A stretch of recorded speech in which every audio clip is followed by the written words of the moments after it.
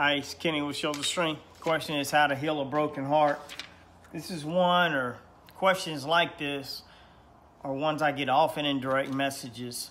And the best I can tell you is that it is not being loved, it's loving that heals a broken heart. People loving us makes it a whole lot easier to love.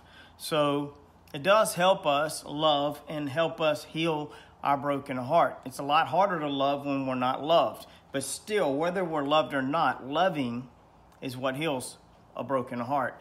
I can also tell you this the end of one thing is the beginning of something new. And if you find yourself feeling like you're at the end of one thing, at some point you got to stop thinking about what was and start imagining what is to come. I wonder who he or her is and where they are right now. I met my wife after one of those thoughts. Trust God's word no matter what. Keep your eyes on